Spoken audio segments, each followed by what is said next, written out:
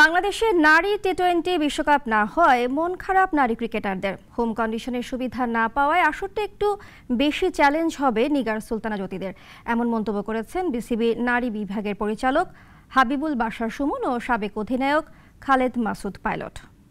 সবারই তো একটা ইচ্ছা থাকে যে ঘরের মাটিতে বিশ্বকাপ খেলা, এটা অনেকটা অনেকের একটা স্বপ্ন থাকে। আমাদের মেয়েদের অনেকেরই এই স্বপ্নটা ছিল নিজেদের ঘরের মাটিতে বিশ্বকাপ বিশ্বকাপ খেলার। তো তারা সেটা একটু মন খারাপ আপসেট এবং আমরা হোম কন্ডিশনটা মিস করব ডেফিনেটলি যেহেতু এটা একটা টিম খেলতে আসবে না ওয়ার্ল্ড কাপ একটা টিম খেলতে আসলে তখন কিন্তু আপনি শুধুমাত্র একটা টিমকে কিন্তু খুবই ইজি এই বিশজন মানুষকে আপনি সিকিউর করে রাখবেন। কিন্তু যখন আপনি অনেকগুলো টিম থাকবে, বিভিন্ন মাঠে খেলবে মুভমেন্ট থাকবে, তো সেই ক্ষেত্রে আমার মনে হয় যে খুব একটা ভালো মানে decision- আমি বলব যে খুব ভালো ডিসিশন নিয়েছে এই সরকার।